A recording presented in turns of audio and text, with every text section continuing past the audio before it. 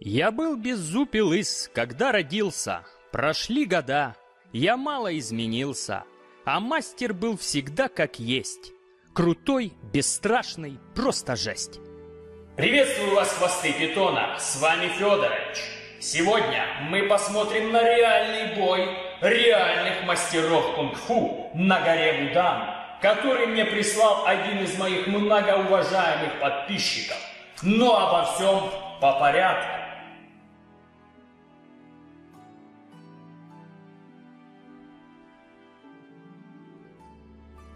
Если кто из вас не знает, что это еще за Вудан, тогда посоветую вам посмотреть суперфильм моей молодости «Шаолини Вудан», в котором супер тренировки, супер драки, а главное супер секретные смертельные техники. В двух словах, что такое Вудан в наше время? В Китае на территории городского округа Шиянь расположена провинция Хубэй, по которой простирается небольшой горный хребет горы Удан, или, как правильно его называют, Уданшань. В чем же его особенность?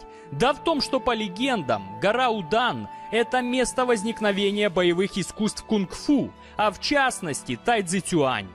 С этим местом связано много популярных фильмов и книг про кунг-фу, а у народных масс гора Удан стоит на втором месте по популярности после Шаолиня. Вы спросите, зачем мне все это знать? Да затем, что до сих пор, даже в наши дни, на горе Вутан есть кучу школ, которые обучают секретным и смертельным внутренним стилям. И это здорово! Многие бронелобые носороги, просматривая мои видео про великих мастеров, думают, что я высмеиваю различные единоборства и внутренние стили. Хотя я об этом уже делал отдельное видео, но повторюсь. Я высмеиваю и показываю конкретного мастера, который, рассказывая про свою суперсилу, которую он получил, делая гимнастику по утрам в парке, теперь может перебить десяток гопников-боксеров за пару секунд. И при этом он демонстрирует полную дичь.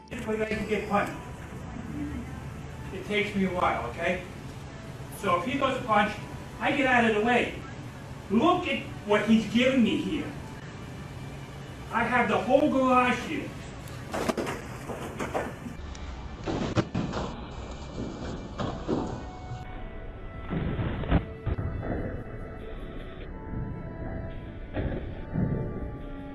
Я за любое единоборство. Ушу, кунг-фу, айкидо, карате. Это все здорово. Главное, чтобы человек понимал, для чего он это делает. Тайцзи Тюань и Багуа отлично подходят для гимнастики и укрепления здоровья, но никак не для реальных боев. А когда мастера начинают перемешивать макароны с навозом, рождается фейковый стиль и фейковый мастер. Хорош рисовать цифры на воде, поэтому перейдем к сути. Жил-был на свете мастер Сунь, который решил, что его школа кунг-фу невероятно мощная и он решил открыть свою школу на горе Рудан, но сделал это очень дерзко. Он в своих видео и обращениях сказал, что все мастера горы Рудан отстой и обучают полной параше.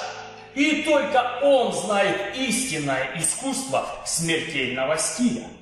Но не все мастера подобны чистому труду и не имеют такого же спокойствия – Поэтому один из них, а именно мастер Чен, сделал видео-ответ мастеру Суню.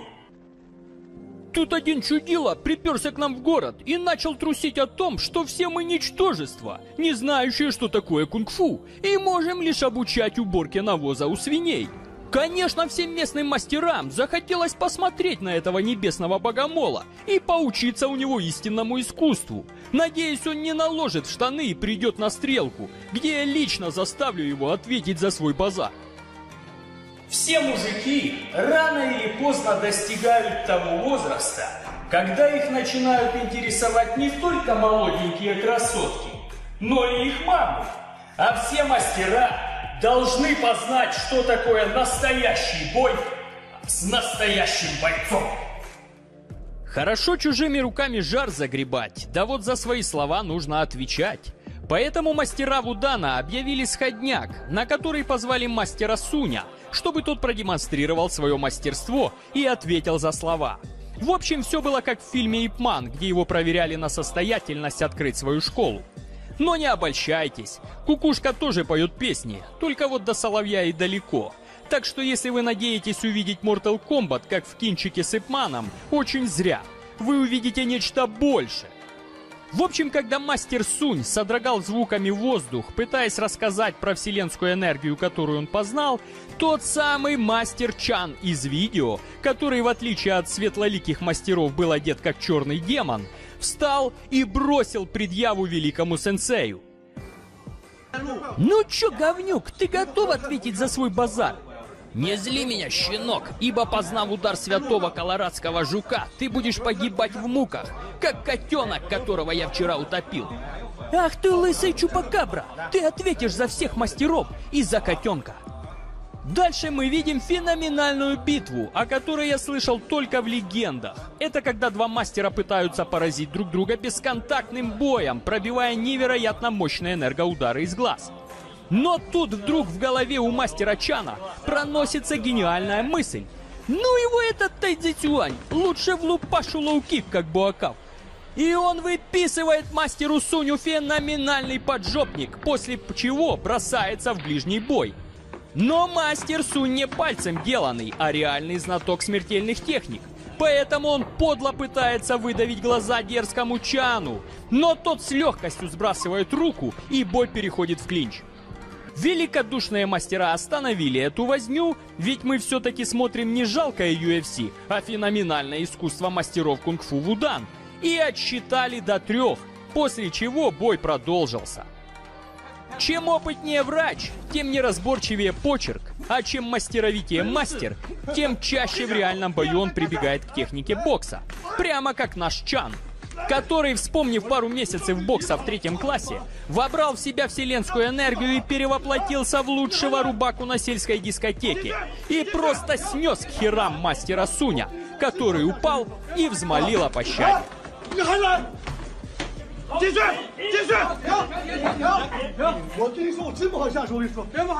Чудо – это событие, описанное людьми, которые услышали его от тех, кто его никогда не видел. Но вы теперь сможете рассказывать всем, что видели настоящий бой легендарных мастеров кунг-фу на горе Вудан и видели это лично.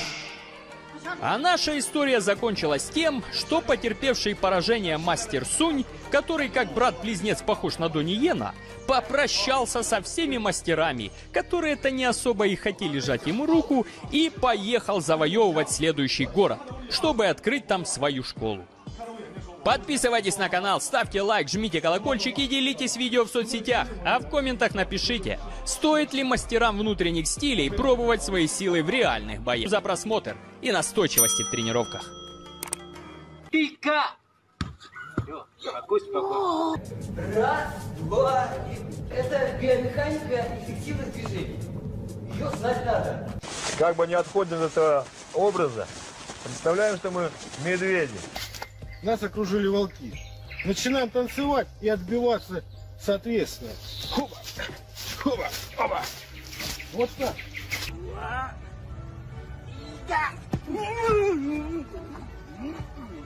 Драка одна, да? Дистанции. Короче, я вот что делаю? Хлопаю, вырываю ключицы, это ключицы вырываю голос. То есть вот так вот это выглядело.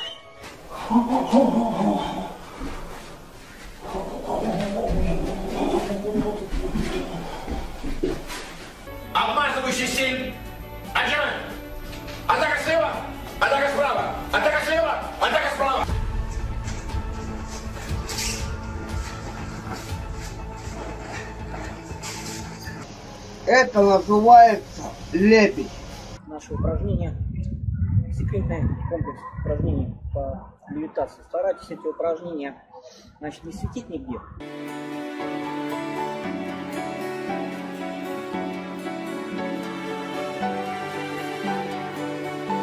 Шарики солнечные. Слепил. Какой идиот будет вот так вот на раз идти? Нет, в атаке на бегу, да. Вот я стою на дистанции. Вы успеваете. Успели? Хоть один раз издести. Ничего не успеваете, это убит.